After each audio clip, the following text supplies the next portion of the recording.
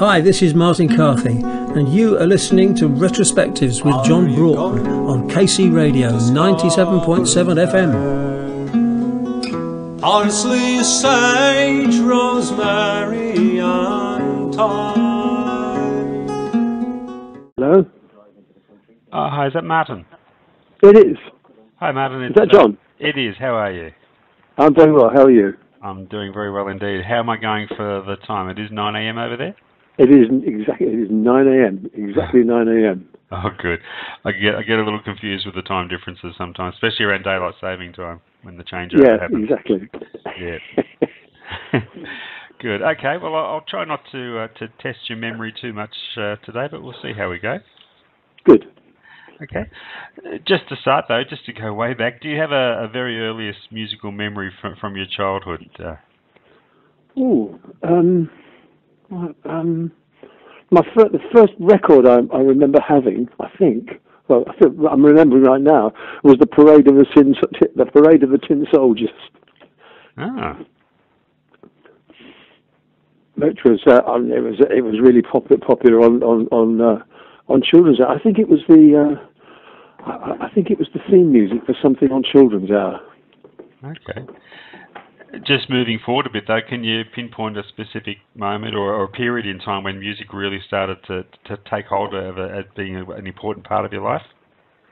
Well, it, it always did. We we we, we um we were a family that didn't make music together, but we listened to music together, and we sat. Um, my sister and I used to sing a lot in church. Um, that was that was a, that was about it. Um, music really really took a grip.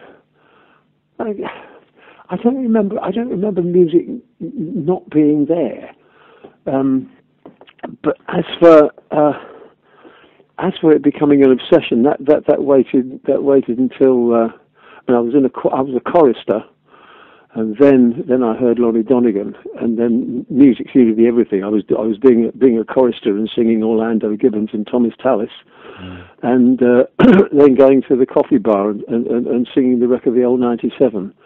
Um, you know, it's a and it never seemed like a clash to me. it, all makes, it all sense. Um, but uh, it, it, I mean, music then gradually took, w- w- would take over. I mean, I, I, I suppose I was uh, 15 when when that sort of thing was happening, and gradually it, it, it took over everything. Tell I us about getting, I, I, got, I, got, I got I got into really quite serious trouble at school because um, I was supposed to be supposed to be at, at uh, home doing my homework, and I was in the coffee I was in the coffee bar a couple of nights a week, singing and making uh, 10, 10 shillings and uh, uh, and a plate of spaghetti. um, and somebody th- th- th- th- in one of the evening papers there was uh, th- they had a, um, uh, readers could send in photographs they'd taken, and if it was printed, they got I, th- I think it was five quid, which is a lot then. Mm. Um, might have been a quid. I, I, I, I, I actually don't remember, but my picture was in one of the evening papers, singing in our co- in, in my my coffee bar, my local coffee bar, and. Uh, I, I, I got a I got a ferocious telling off from the headmaster. I didn't get the cane. You know, those were the days of beatings.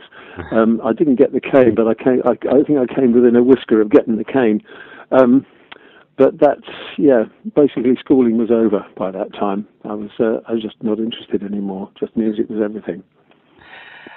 Tell us about the the uh, period of the skiffle the skiffle movement. We we were certainly aware of it down here in Australia, but uh, apparently it was huge over there. How how important do you rate that time in, in terms of your development as a musician?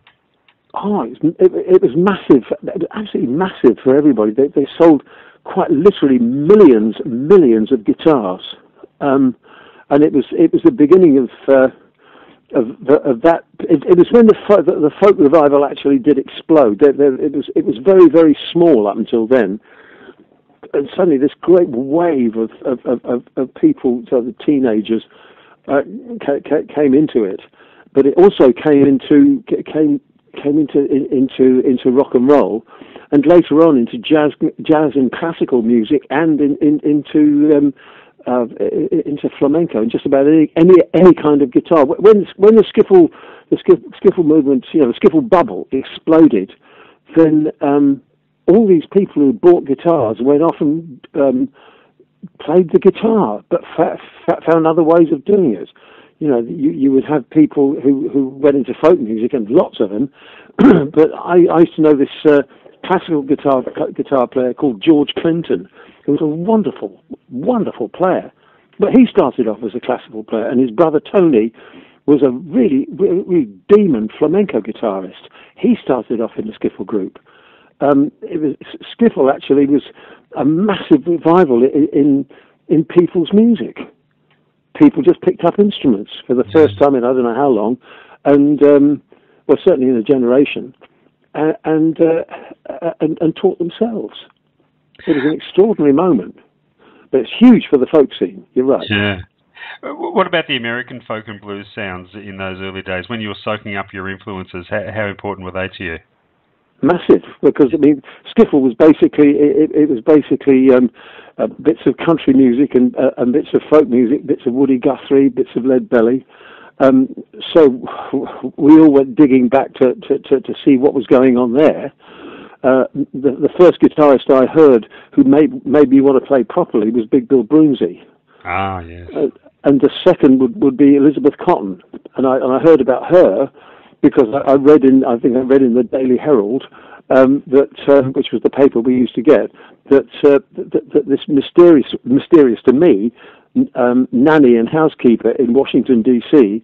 had sued the Ch- uh, Chas McDevitt of the Chas McDevitt Skiffle Group because he had claimed to have written Freight Train, and she wrote it and could prove it. Um, so you know, there, there, was this whopping payout. I don't know how much, but um, it was there was a, a big payout. Uh, and I, I, remember thinking, when something like that happened, you know, I, I and I suppose all, all my contemporaries would, would, would, go nosing around to find out who this person was. And I went, I, I, saw her, um, saw her record in, in, in a record shop. There, there, I suppose there were there were folk record shops, but there were jazz record shops. There was one in particular on Charing Cross Road called Doug, uh, called Dobell's, D O B E L L S, um, Dobell's Jazz Record Shop, and um, it was all jazz. And Doug Dobell was a uh, was was a jazz fanatic, but he had he had one box on the counter which which had folk records in it and right at the front, there was a record, uh, a, a Folkways record, um, and it said Negro Folk Songs and Tunes by Elizabeth Cotten, Mm. And it was, and, and the first track was, was uh, Wilson Rag, and the second track was Freight Train. And I decided this must be the woman. And it was. Yeah. And I bought the record, took it home and played it, and I just couldn't believe what I was hearing. This guitar, this wonderful lyrical guitar playing a mile away from Big Bill Broonzy because he was, you know, hard driving stuff. And I, I, I, was learning him, buying those records and slowing them down and trying to learn how to play them. But Elizabeth Cotten was something else. It was just beautiful lyrical playing. And I, I just, I just fell in love with it straight away. And it was hard work to try and learn it, slow, slowing it down because it was complex stuff. Sure was. But, um, yeah but I did, I did, and it's um, and I, I you know, I, I met her. What God, I met, I met her twenty years later, um, and she was still gigging. She was still she was still gigging into her nineties. and uh, I mean, I, I, met her twenty years twenty years after buying that first record, and uh, she and she was playing at a folk festival, and she sat and played played Freight Train, and I burst into tears. Oh, I sat there like, crying like a baby. I was so yeah. happy to see her play. It was wonderful. She was, was amazing lady. She, she, she worked, really was. She worked in the Seeger household for a while. She did, and yeah. and, and uh, that they didn't know. That was the, the, the, the really astonishing thing. Peggy, uh, Peggy has ever told you the story, but they um, they they came home and uh, I mean, Libba was the was the woman. She was housekeeper, and she looked after the kids, and yada yada yada yada yada. And they came, you know, they came home, walked through the door, and there was this music in the house, and somebody thought, whoever it was, who, who's left the radio on? And they went in, looking around, and there she was, sitting in sitting in the sitting room, playing one of the one of, one of the uh, one of the family's guitars. Only she was playing it. Uh, she was left-handed, and she was playing it left-handed and upside down, which is one of the reasons why it was so hard to learn to learn her records because uh, because that's the way she played. She Right, played yeah. left-handed and upside down, and there were things she could do that you couldn't do. Wonderful! That was just a great discovery for them. They must have been really excited because they were the folk song experts and they didn't know what was right under their nose. Fabulous moment for them. Yeah. I I believe you had uh, theatrical ambitions in, in your younger days. How serious did that get? Um, well, I, I decided I was go- I was going to be an actor because I'd been in the school play, um, and uh, I very quickly found out that it was um, that, it was slightly more difficult than that. Um, I really did enjoy it. I had um, uh, well, I, I walked out of school at the end of the spring term, uh, right, right at the beginning of March 1959. Walked out of school and so walked in, went home and said to my mum, "I'm not going back to school next next term." And she just looked at me and said, "Well, you better get a job then." So Mm. um, I was sort of hanging about and I was doing what we did in those days and um, gate crashing parties on a Saturday night. I met this bloke who uh, who didn't announce who he was, but said that. Um, Get- Oh, leave me a phone number. You never know. I might come across something because I do meet people like that. Um, and I, I, I went home after the party. You know, I got home at about six in the morning or something. and uh, about half eleven, phone rang, and my mum shouted up, "It's for you." So I uh, went down, and it was this guy I'd been talking to, and he was the stage director at the Regent's Park Open Air Theatre and they were just start, they, were just starting rehearsals. And he said it's not much of a job, but you can have the job as prompter if you want it. It's it's five bob a show, uh, this, which, and the pay so the pay is rubbish. And we usually give it to a student, but if you want it, it's yours, and it's a start. What do you think? So I went I went along on the Monday, and met this uh, you know the the boss of the company was a man called Robert Atkins, who was one of the last of the old actor managers and uh, it, it was that that was it. I was I, I was the prompter. Uh, It was a, it was a fantastic season. The next thing I did uh, walked straight away into a, uh, a, a, a ASM assistant stage manager on a tour of the Merry Widow, which went on, which started off as a six month tour and then ended up going on for nine months, damn near. And it was. Uh, uh, that that was learning le- learning about how to look after props basically because that that was my job. Um, and I had a small part in it which began to teach me that I wasn't that uh, theatre probably wasn't uh, acting anyway. Wasn't really going to be up my street. And then I went straight into uh, theatre in the round where you actually had to make the props. So I went in I I went in knowing nothing and I came out came out armed to the teeth. But um, didn't get another job. Um, and just then the folk scene was starting up, and I, the, the guitar was always always with me. I always took my guitar when I when I, when I went away on the road. I always took my guitar, and the, the guitar the guitar took over again. Um, Just- but and, I- and I fancied, I fancied, I, I, I think I still fancied for about a year after I'd uh, come out, uh, a, a- year after a year out of work, put it that way. I still fancied I was going to be a, going to be an actor uh, because I put it in my passport that I was an actor. Um, but it was um, music took over. Music But- took over. Just the same though, has there always been in the years that have followed? Has there always been this actor within you when you when you're performing songs on stage? Is there an element of, of, the acting craft still there? I don't think so. I don't Huh? think so. It's a diff- It's a different. It's a different thing. Because with, with, acting, you're, you're you're assuming a part. I know there was a part of the folk scene. You, Ewan MacColl used to, uh, would tell people that, uh, that, that, that, that, that there were, there was a lot of common ground, and I'm I'm not sure that I go along with that. Um, he was, I mean, he's a brilliant performer and all the rest of it a tremendous presence on stage, but I think I think it's a different, it's a distinct thing. Um, you're telling you're telling a story. You're not you're not being an actor. You're not taking the parts.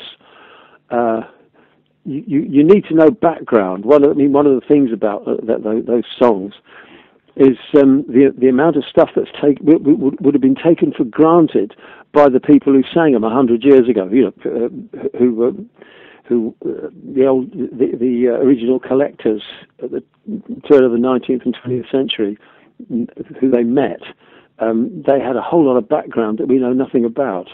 And, and could sing a song, and the people around them would be able to make all those assumptions. And we, we, we know very little about that, so you have to find out about that and then try and still make it work. And uh, it's, it's, it's because the songs have always changed, if mm. you hmm. see what I mean. Yeah. They're, they're, they're, they're really mobile things, mutable things. Um, and I, have found over the years, I've been singing some songs for 50 years, and um, I think I think they, a lot of them have changed, and, and, it's it's subconscious. You don't sit down, oh, I've got to change these words, um, but they they acquire your your vernacular. I think yeah. sometimes, and that's um, it's interesting to see how how how, how mutable they can be, how, and it's a very exciting. It's actually very exciting in a very in a, quite a downbeat way. You realise how much has changed without you really looking. Mm. Now it's well written that it was your arrangement of Scarborough Fair that was an inspiration to Paul Simon. Is it true that Paul was reluctant to, to point the credit in your direction for that? No, it's not true. I, I did I, I, did believe that for a while, but then um, I have to I have to acknowledge that that it's playing the victim is very comfortable. Is, is you know is a very comforting and comfortable thing. Yeah. Um, and I did it. I did it for a good while. I remember thinking at one point I began to call it the trudge through the grudge, and it was just it just it, it, it became a pain in the backside. It really did. And I got a phone call from a mate of mine who worked for the Performing Rights Society, and he just dropped into the conversation. Oh, I just thought you'd be interested to know that. Um, do you know Paul Simon has never has never had a payout from PRS over Scarborough Fair, and that t- t- took a while to penetrate. And then it dawned on me that there was there was uh, that I'd been had by a third person who had taken all the money, and that uh, that third person was not a musician. Um, uh, and, and he wasn't a manager, but uh, there we are. Um, somebody made an awful lot of money out of it, and it was not Paul, and it was not me. Ah. Um, the person who, the, the, the only person who made money out of that recording was was Art Garfunkel because he wrote the canticle. If you remember, it was called a Scarborough Fair Stroke Canticle. That's right, yeah. And and Art Garfunkel wrote the canticle, so he got he got some money. Probably made quite a lot of money. Good luck to him. Um, and Paul always used to say, I, I met him in 1998. He rang me up actually. He was on a European tour, and I got this phone call out of the blue. Um, hello, this is Paul here. And I, I know a lot of Pauls, mm-hmm. but his voice was unmistakable. I said, really, Paul? And he said, yeah, I'm, I'm, I'm on the road in Stockholm. I'm going to be in London on such and such a day. I'm doing, on the days I'm doing three gigs at the Hammersmith Apollo. Do you want to come along and sing? and I could I could go on the, actually on the last day, so I went along, and uh, and we sang Scarborough Fair together. And the interesting thing for me was that Paul is, is one of those people who says very little, hmm. or all of a sudden says a lot, and it comes out in a great deluge. And in all the time I'd known him when he was living in London, my impression was that I, we said half a dozen words to each other you know. Mm. And when we, we came off the stage in uh, at the Hammersmith Apollo, we sat in that back room, and he talked almost non-stop for about 45 minutes. Um, and it was just really, it was delightful and gratifying and, and, and uh, I don't want to get too poncy, but healing as well.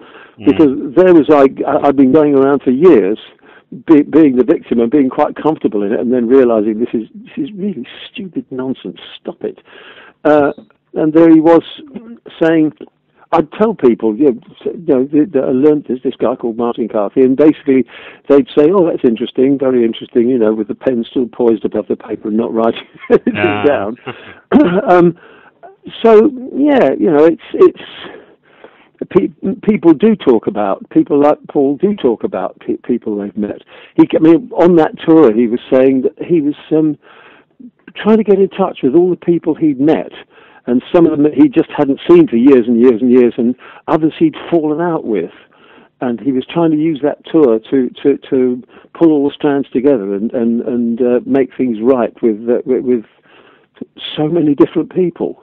some closure. Who may have felt wronged, maybe maybe they were slightly wronged, or maybe they weren't. Maybe people just drift apart, and you don't get a don't get a chance to uh, to make anything. Why do you want to make it final anyway?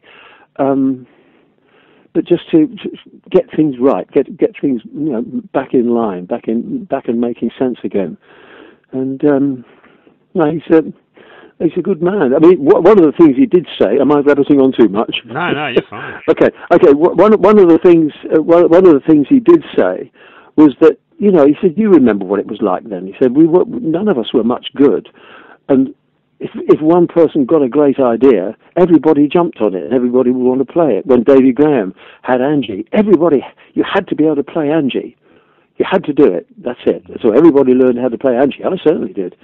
Um, and he said, and then Bert played something like, I don't know, Strolling Down the Highway. So everybody had to learn how to play Strolling Down the Highway. So we all did. And I had Scarborough Fair, so everybody learned how to play Scarborough Fair. Um, and it was the way we improved. And he said, when when uh, Art Garfunkel and I were about to to, to, to give in and, and, just drop the whole thing, and then a, a, a, a, producer in New York put a drum track on Sound of Silence. Just stuck a drum track on on, on, on Sound of Silence, and it went straight to number one. Mm. He said, and after that, everything I touched turned to gold. That's what happened. He said, I don't have an explanation for it. That's what happened. And it, um, it's just about true, isn't it, when you think yeah, about it? That's right. You know, his, his output up to then was not large, but everything went, everything went, went crazy. And um, then he started doing doing the solo career, and uh, he really turned into a fabulous writer. Really did, wonderful writer. That was basically nice the, guy too. Oh, sorry, sorry. No, no, what are you saying? that that was basically the birth of, of the folk rock era of the mid to late sixties. Yourself, were you ever tempted to take your music down a more commercial path at that time? Um, mm, no, I was I was. I mean, if if if what if what any of us, mm, I don't know how to answer that. I'm just I'm starting to flat, let me let me flounder for a second and think about that. um, the the answer basically was um, was no. Um, when I got terribly self-important, when, when I signed to Fontana to make my first album, I was sitting, sitting in the office of the boss of Philips Fontana, a man called Jack Baverstock, and and I was I was being terribly, you know, terribly pure and terribly terribly regal, and he said, um, "Here, here's here's a tune here. I want you I want you to record this one. Put that on." So here's a folk song, and he put on this this this thing, and I said, I said, that's not a folk song. He said, sure it is. I said, no, it's not. And he said, if I told you that you'd uh, that you record that or you don't get the contract, what would you do? I said, I'd, I'd, I'd walk away. And he looked at me and I could see this look in his face that was saying, oh God, who is this idiot? and I was feeling not terribly righteous. But I, I would have, you know, I would have done. Um, so I wanted, I wanted to stick to what I, what what what I was finding out about. I, I, can't, I can't say I knew it because uh, I, I'd not been at it that long. Mm. I suppose I, I, I thought I knew knew a hell of a lot about it, um, but I still had that I still had that attitude that we all had in Skiffle, which was that people were always telling us that we were rubbish. And uh, you know, me and my mates, we were always telling us we, we were rubbish, and we would sit back and look at each other and go, you just don't know. You don't know how good we are. and you don't understand just how great this music is. You're just an idiot. You don't understand. And there was still a, a fairly large chunk of that attitude in me because there was so much. I, yeah, in, with the with the wisdom of hindsight, I can say there was so there was so much to find out, and I wanted to know about it, and I didn't want to waste my time on anything else. Do you know what I mean? Yeah, oh, absolutely. It, it, seems that your priority has always been to seek out and perform traditional songs rather than, than write songs yourself to any great degree. Has it been a regret, uh, looking back yeah. over time, that you haven't focused as heavily on your own songwriting? Um, I've only written when I had to. Now, I've heard people say p- people write because they have to. and I found out that I had to write something when uh, during the Thatcher years. I wrote two songs during the Thatcher years, and I've never, I, I've not written a song from scratch since then. Mm. But there, I, I, I, got so angry that finally one song came out, and it was a song about the Falklands. And then, because um, there was so much phony nonsense going on then, and uh, then the, uh, if, when I was three quarters of the way writing through that, another song appeared about. Um, um, what was happening in South Africa because my family had from from the moment uh, Dr. Malan was was uh, was elected for the National Party in 1948, my family was uh, was involved in in in. Um, I suppose it became a, a, little personal boycott. My mum would, but my, my, my dad always got he got shoes from South Africa. He got these Veldschoen from South Africa, and he loved them and and he also got he got shoes and marmalade from, South, from South Africa, and my mum would, would would say, you know, basically say to him without while we were out of earshot, would say, you know, this has got to finish. You can't you can't do that. You know, these people are are, are, uh, are making laws which are excluding the the majority of the population. You can't do this. Don't support that. Stop doing it. Stop, stop. I know it's lovely marmalade, but stop it. And I know it's but you get four or five tins of the stuff at a time of the stuff, and you do love it, and I love it too. But we, you know, we'll, we'll get different marmalade. We'll make the bloody stuff. Hmm. You know, um, and uh, and and the shoes went on for a for a bit longer, but eventually stopped doing that too. Um, yeah, it was. Um, so there was and sorry, and, and my involve, involvement in music when it became, you know, uh, my my my complete, it was there 100 percent of the time, taking all, all my time up. One of the things that we were all involved in was the anti-apartheid movement. Mm-hmm. You know, and there was CND and anti-apartheid, and that was uh, that was that was what we did. So it's always been there. And then it all it, this song came out in, in, in the run up. It was about the run up to, uh, to, to, to the release of Nelson Mandela, and uh, I, I actually sang the song more recently at a uh, at a, a, a, concert of. Um, um, it was, it was about the civil rights movement in America, and I didn't have a song then. The guys insisted uh, insisting that I I do a song. Come on, you must have a song about it. So I, I dredged this song out of my memory. I'd not sung it for a long time, and I sang it to him, and he and he just he looked. He said, "That's very good. You know, you should sing that." So I sang it. Um, and I look back on it, and yeah, it was it's a pretty damn good song. But it came, it, uh, it, it, it took, it took Margaret Thatcher saying um, they should hang Nelson Mandela, which is what one of the things she said. Um, to to to, to galvanize me into writing it. Mm. She made just just made me and my family so basically angry that she could do what she was doing and did quite deliberately, apart from anything else, create a new underclass, a new poor. That's what she did. And these buggers right now are doing the same thing again. But. I digress. Uh, someone who I'm sure never made you too angry, Dave Swarbrick, uh, someone you've had a long uh, association with through the years. Uh, can you recall your first meeting with Dave? Oh yeah, oh yeah. um, I, I reckon it was 1961, um, and it was at the Troubadour, and I was knocking around with these three lads from Harvard University, who were an old-timey group. There was uh, banjo, guitar, and, and mandolin doubling fiddle. The mandolin player double fiddle. Um, and they were they were sort of they, they were all microbiology students, I think.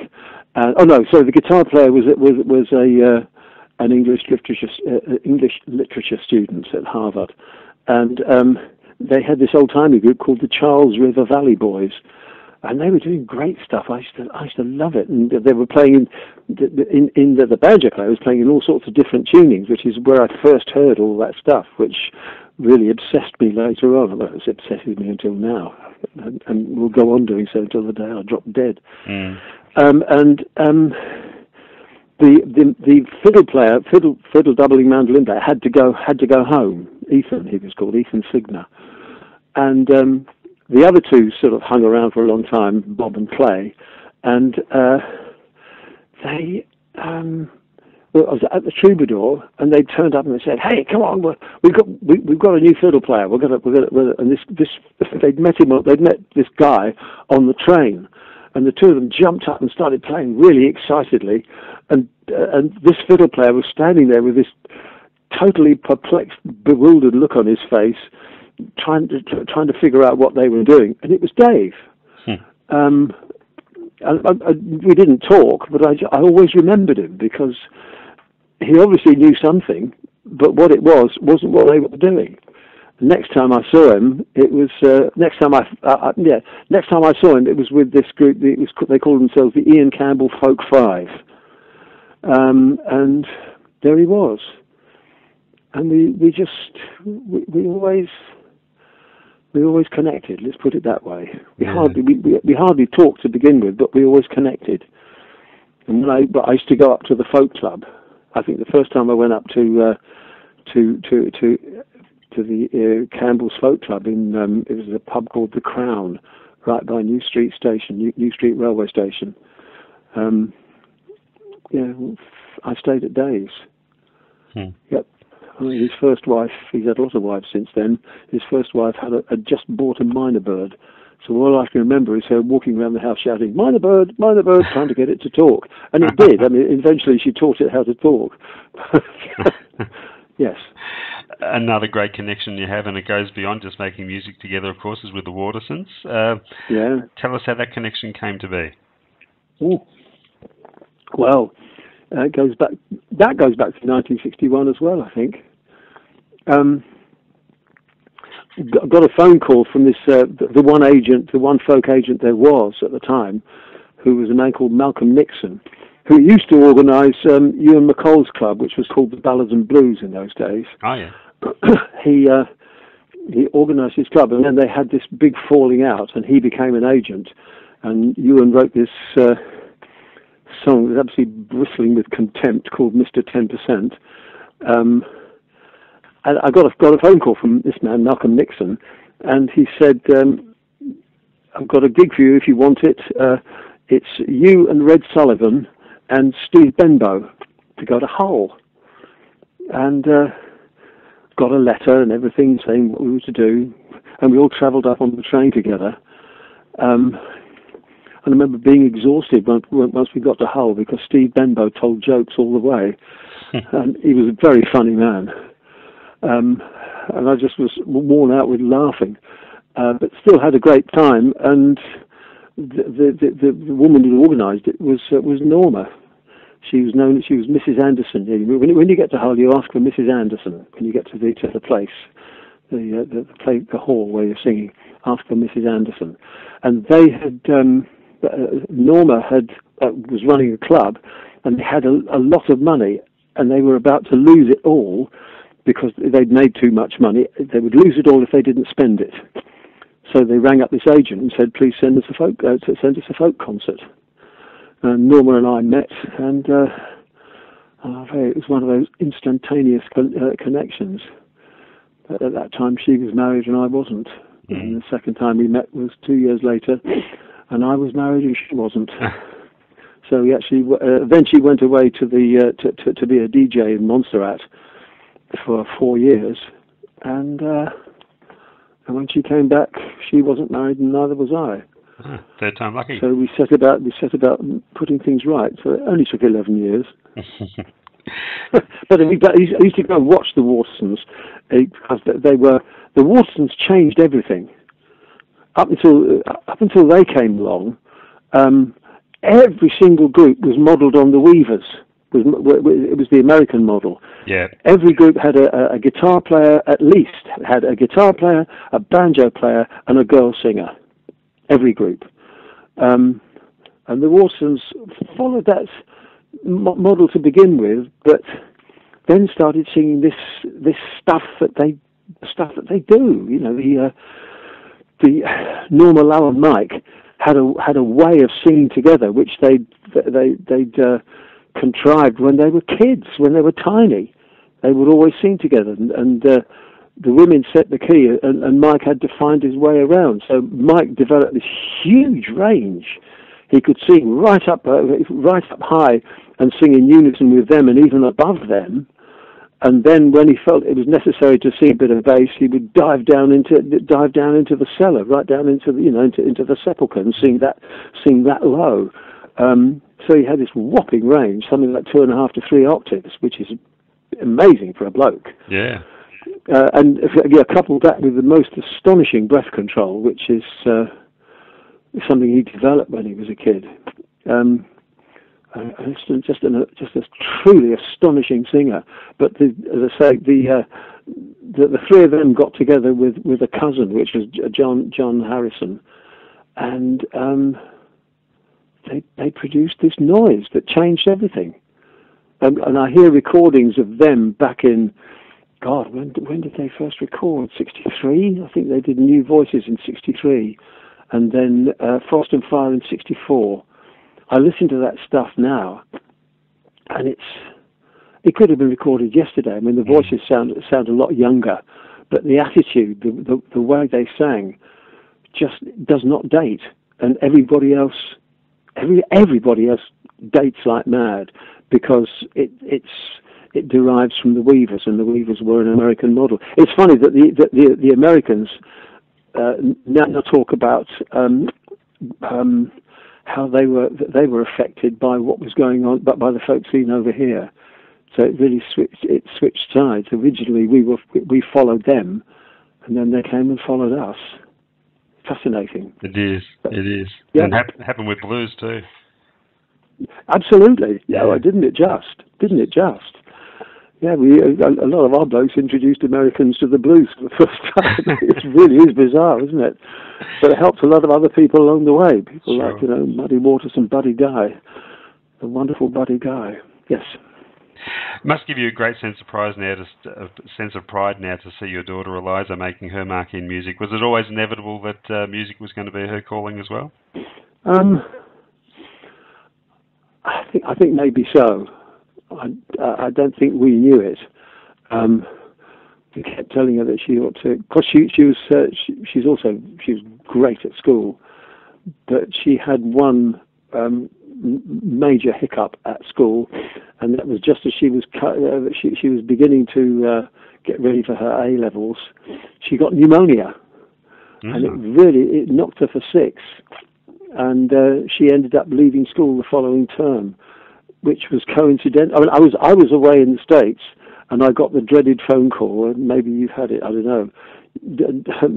You need you need to talk to your daughter.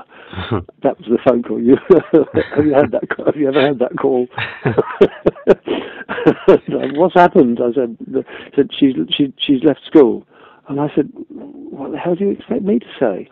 She's 17. She's leaving at the end of the spring term. That's exactly what I did. What am I going to say to her? Mm. You need to talk to your daughter. so, so I talked to my daughter, and I just said, you know, just I, I, don't know what, what I'm supposed to say to you.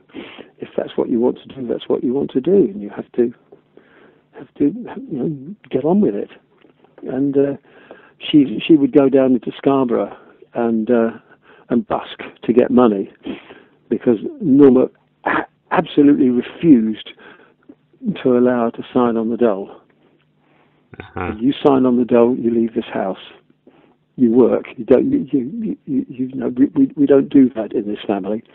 Um, so she did, and she would. Uh, I mean, so she didn't. She went down into Scarborough, and uh, and, um, and and would busk on the pedestrian precinct precinct, and did you know did well too. and then met up with Nancy Kerr, uh, and they came out to us a couple of times, I think, certainly once, and had a great time. Um, you know, they were they, they were about as different as they could be mm. as far as fiddle playing is concerned. Because Nancy is very precise. I think she's been playing since she was six or something, so she's extremely pli- uh, extreme, very technical, very very good, very imaginative and Eliza was, uh, you know, blood and thunder and everything, and, and, often not sticking to the tune, which would infuriate Nancy. But um, they just produced wonderful music together, really vibrant stuff. And I think they, I think it can be said that they kick-started the, uh, the, the latest round of folk revival. Yeah, oh, that's a fair I point. really do. I think Yeah. I think it's, the, the two of them are, are can, can be said to be responsible for it. So many people followed followed in their footsteps. And the thing that was astonishing to me, you know, I've been doing it for a few years. Then, and it, what astonished me was how quickly, you know, kids were coming up to me and saying, "Are you really Liza's dad?" no, said, oh, Liza's your daughter. No, you are Eliza's dad. and, you know, I was slightly surprised to begin with, and then I just, you know, just just let it go. Yes, yes, I, that's the way it is. She's, uh, but she's always been. When we were working together, as you know, starting together as, as, as Waterson:Carthy, when did we do that? Um, she was 16, I think, or 17. 16, we first did it she always operated as an equal. She was never an apprentice. She always was always on an equal footing. Um, it was uh, that was one of the things that made it so good. Yeah, It was it was a, a three three way effort. She was she was never in tow. She was always always up the front with uh, with, with the rest of us. It was. Uh, She's a little powerhouse, which is you know she's not not little anymore, but she's uh, al- always was a real powerhouse. Putting yourself in the place of, a, of, a, of a observer of folk music, are you confident that the traditions of the music form, and in particular its songs, will, re, will maintain a level of interest in decades to come? I don't see why not. It is cyclical, though, isn't it? Yeah. Um, so we we uh, it seemed to skip a generation. You know, we were uh, how old was I when when Liza was doing it? I was I was 48, and uh, when Liza 48, yeah, 48 when when when Liza left When Liza, Liza came, to, came, Liza came. Sorry, I'm, I'm, I'm floundering again for a second. That's all In right. 1989, we we we all went over to Vancouver and sang at the festival. Uh, so she was 14. Um, yeah, that's when we. I think Norma and I knew that she was going to do music because she came off the stage having sung to 25,000 people and been sort of given a fantastic reception, came off the stage and announced that she was leaving school, and we had to tell her it's illegal. We had to stay on for another two years. Oh, Yeah. I, I oh, oh, grumble, grumble, grumble. I said, it's good. It's just, just, just do it, and then after that, you do what you want to do. And you know, and I suppose three years later, not two, she uh, she did leave school and she went into music and proceeded to blow everybody away Sure. but she um, she she could she she revealed uh, um, the writer in her quite early on, um, and she always had that capacity. You listen to her songs and you think, how the hell does this 17, 18 year old person know that? And that's what when when a when somebody's good, they have these insights at uh, you know at, at that age that, that really take you aback. Um, she's not alone.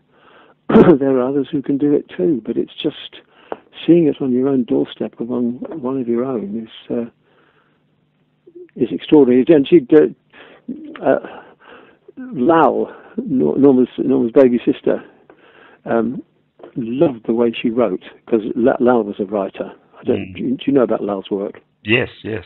Yeah, it's um, yeah. She she she's, she was an astonishing writer. We've just done a uh, done a little tour celebrating her work, and it just made me realise how utterly utterly brilliant she was. Very quietly, um, and she absolutely loved the way Liza wrote.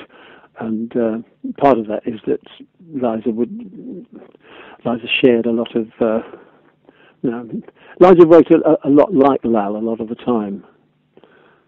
You know, just sometimes just going going into places musically and lyrically that other people won't go. Um, yes. And Martin, just before I let you go, what, what's the extent of your live performances these days, and uh, what, upco- what upcoming plans can you tell us about? Uh, Well, I've got. Uh, I, I, I'm still, still, still doing gigs. It's just, it's um, um, musicians don't retire, and I can't see any reason to retire. It's, it's. If I wanted to just lie, down and vegetate and fall to bits and drop dead in a few years, that's the way to do it. It seems to me. yeah, Um, and there's and there's still so much to find out about, and so much to. There's a lot to learn. Um, so, you you find you can't you can't do. Um, I, I find that there's things I can't do anymore because physically I'm not uh, I'm not up to it. But there's other things I'm getting better at. You know, I'm I'm. You get, I think, I think you get better at uh, actually telling the stories, and I've always loved, loved the stories fabulous stories, and it's such bloody intelligent music. There's su- there's such a hinterland to it that's really interesting and, and, and informative and educational. I mean, in the proper sense, it tells you about uh, about being alive um, and how to do it. Um, there's too much to find out to think about retiring. So I so I, I, I gig all the time. I mean, I can't. One of the things that folkies can't do if they don't write any songs or write enough songs is that you can't live on your royalties. mm. You know, you've got there- there- there's there's still there's bills to pay, so you, you've got to do it. And and it's not a question of it's never a question of. Oh, you might as well get on with it. It's it, it's it's all a package. It's it, it's great to be able to work. So it's it's a great privilege to. I've had a, I've, I mean, I've lived lived a privileged existence for over fifty years, going around doing exactly what I wanted, the way I wanted, w- when I wanted, how I wanted. Whew, you know, 50 years, and they'll find out about stuff and walk, walk up blind alleys and bump into walls and fall flat on their face, and people will still clap you at the end of the evening and, and, and, and pay you. You know what? A, what a dream existence! It's it's it's uh, it's been fabulous, and it's and it's still that exciting as far as I'm concerned. I can't see any reason. I can't see why I would want to stop. Oh, well, that, that's good news for all of us. That's fantastic. Hey, Martin, thanks so much for your time. It's been, a, been an honour speaking to you, and uh, thank you for opening our eyes and ears to some wonderful songs through the years, and uh, hope there's still plenty more to come. Well, thank you, John. I've enjoyed every minute of it, and I hope I go on enjoying it. thank you very best. much indeed. Thank and you. we hope to see you down in Oz again one time soon. That'd be Oh great. yes, I'm actually g- c- coming to the national festival this, uh, the, the next year. Oh, fantastic. Yeah, it's. I, I, I think. I think it's been confirmed. I'm pretty. Sure, I'm, I'm almost certain it's been confirmed. Oh, that's brilliant. That's that's great news. Great. Really. Thanks again, Martin. Okay. Thank you, John. All the best. Bye bye. Bye.